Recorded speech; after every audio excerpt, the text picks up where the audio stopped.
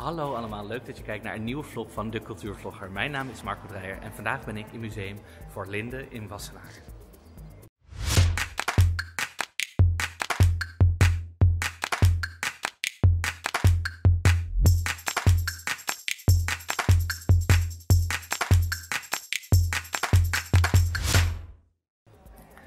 Zo, vandaag neem ik jullie mee naar de nieuwe tentoonstelling in Museum voor Linde Rendezvous, wat hier staat. Ehm, en natuurlijk houden we gewoon de regels van het RIVM aan, want er is nog steeds een coronapandemie, dus anderhalf meter afstand. Maar dat kan gewoon. Maar ehm, ga mee. Van de bloemen. Nou, jongens, we zijn in de eerste zaal van Rendezvous. Uh, een tentoonstelling die gaat over ontmoeten, verbinden. Uh, wat in een tijd als deze natuurlijk controversieel is. Niet zo vanzelfsprekend is als eerst was. Um, en we zijn nu in de eerste zaal met, uh, met drie, uh, drie kunstwerken. Um, we hebben hier een soort glas, glasinstallatie met verse bloemen erin. En uh, ja, die bloemen gaan natuurlijk tijdens de tentoonstelling verwelken. Dus dan weten we niet wat, wat het eindresultaat is. Dus het is een kunstwerk in beweging. Um, dan hebben we hier een aantal tekeningen, illustraties van bloemen. En ik denk dat dit dan de, het gedeelte is van de ontmoeting, want deze bloemen ontmoeten elkaar, um, maar op een hele andere manier. En hier achter me zien we een uh, kunstwerk van Tracy Emin. I Promise I Love You. En ik moet zeggen, sinds ik in het Tate uh, in Londen ben geweest bij een um, LED Light Expo, vind ik, ben ik LED-verlichting als kunst ook echt meer gaan appreciëren.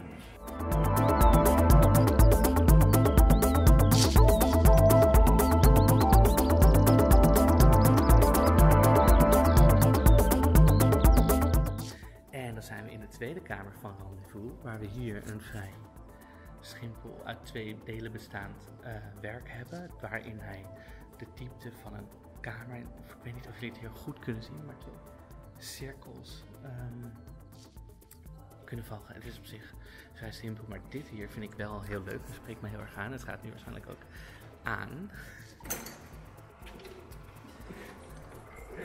Um,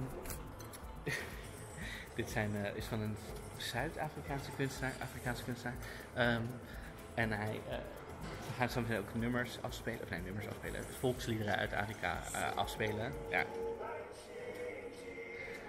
En hij wil graag laten zien dat uh, deze machines ook heel veel voor de mensheid hebben betekend. En ja. En dan, ja, over ontmoetingen gesproken, dit zijn enorme pannen hier. ja, ik weet niet of je het goed... Wacht, ik zal even wat meer afstand nemen. Hier is dus een hele wand vol met pannen. Um, enorme. En in de grootste kunnen dus drie, het vlees van drie kamelen worden gekookt. Zo groot is het. Um, wacht, ik zal er even voor gaan staan en dan kan je zien hoe groot het is. Oké jongens, ik ga laten zien hoe groot de werken zijn.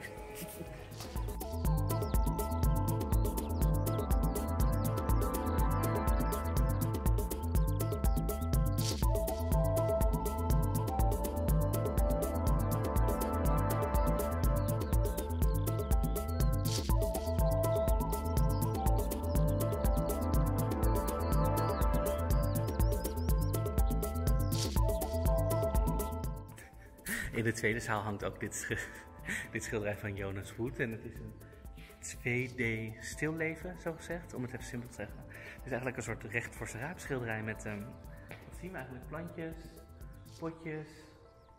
Ja, plantjes en potjes. Zo simpel kan het allemaal zijn. Dan gaan we nu naar zaal 3, tromgeroffel. Kunnen we al? Mogen hier al? Zijn er nog mensen? Oh, we kunnen al. Wow. Oh, ik had alleen Um, deze hoofden, ik heb verder nog niet het boekje gelezen, maar ik weet wel dat deze hoofden 50 jaar of zo bij de kunstenaar hebben gelegen. En nu zijn gevonden, geloof ik, of zo. Um, ja, dit is creepy. Kijk, en vooral die, je hebt dan van die gezichten zonder ogen, maar vooral als je bijvoorbeeld deze um, mevrouw hier kijkt, dat is echt. Oh.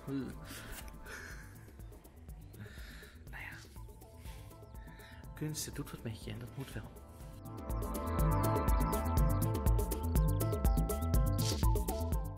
Oké, even een toevoeging over het werk van, uh, met die hoofden.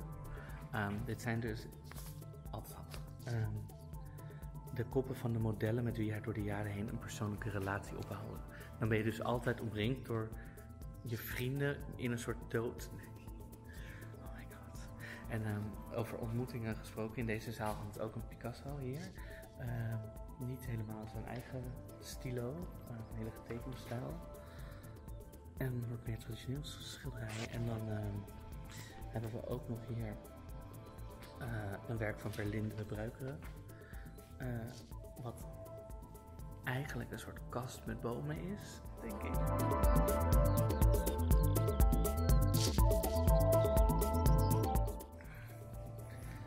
We zijn dus nu in, ehm, in zaal 4. En ehm, nou wacht, ik zal even vertellen hoe je de zaal binnenkomt. Als je de, de volgorde loopt. Dan zie je deze prachtige beer staan, zo. En denk je, oh wauw, wat zijn die beesten groot. En ehm, nou, dan pak je het boekje erbij, zoals je doet als eh, museumbezoeker. En dan lees je dus dat de kunstenaar Abraham Poitcheval, um, ik ga er even uit dat ik het goed zeg, uh, 13 dagen in deze beer heeft geleefd. En dan denk je, wat? De beer was al overleden, maar hij heeft als performance kunstenaar hierin geleefd. En um, hij heeft een aantal boeken mee en je ziet hier ook een waterkokertje.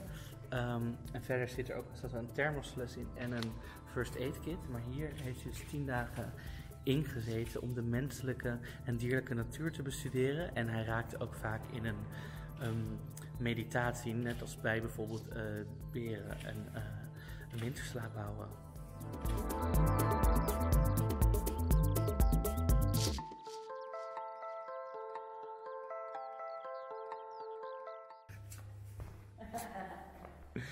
Uh, ja, oh wacht. Ik, zijn in zaal 5, jongens. We zijn doorgelopen naar de beer.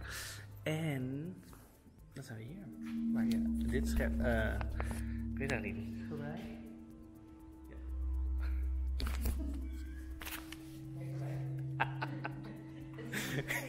is het een sculptuur? Wacht even.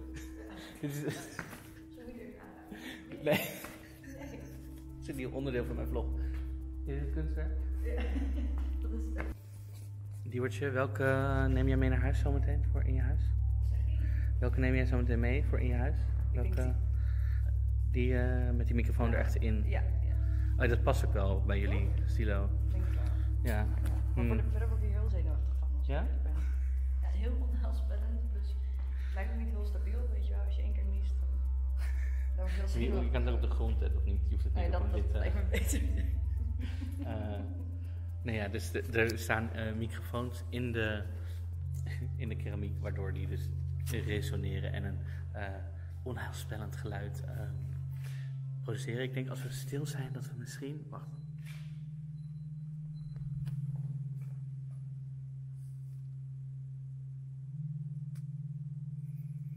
Ik hoop dat jullie het kunnen horen, anders wordt het een hele ongemakkelijke stilte in de vlog.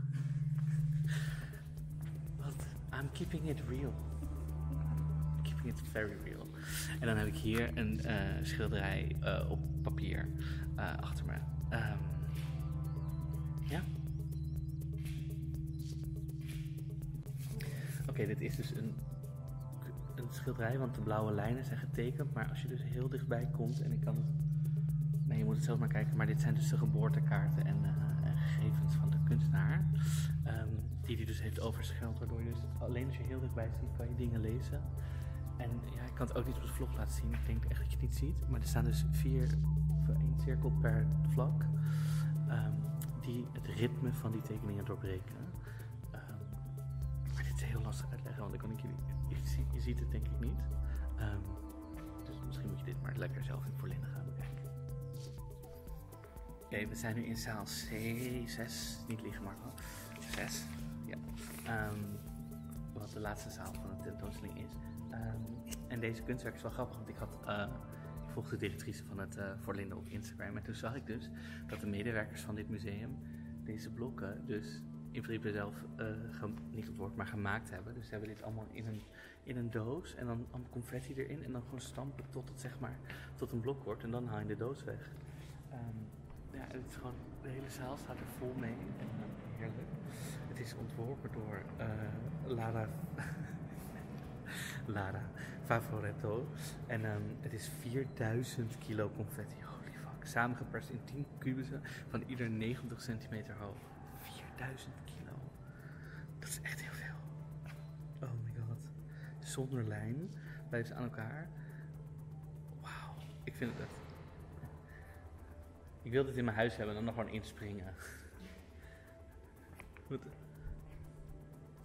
Dus het is 400 kilo confetti per kubus. Dat kunnen we ook thuis proberen. Jij hebt een tuin.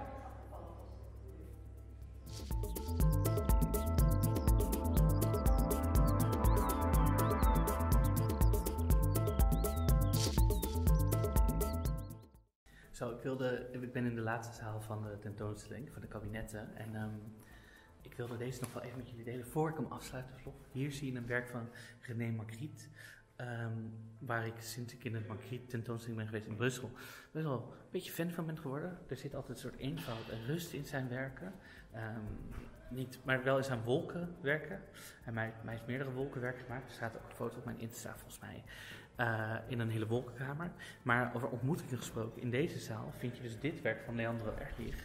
Kijk, en dat is dus een soort ja, wolk in een kistje. Ja, ehm, en het is dus, eh, ja, heel dope. Het zijn dus een aantal glasplaten. en eh, een aantal glasplaten met, ja, hinten erop, waardoor het dus op een wolk lijkt. En het ziet er heel vet uit. Ehm, nou ja, dan sluit ik ook meteen de vlog af. Uh, leuk dat je weer gekeken hebt naar deze vlog. Ehm, ik zie jullie waarschijnlijk alweer in de volgende vlog. Vergeet niet een duimpje omhoog achter te laten. Vergeet niet te abonneren op mijn YouTube kanaal of op mijn Facebook pagina als je op de hoogte wil blijven van nog meer vlogs. En eh, wie weet zie ik jullie wel weer in de volgende serie. Tot de volgende vlog.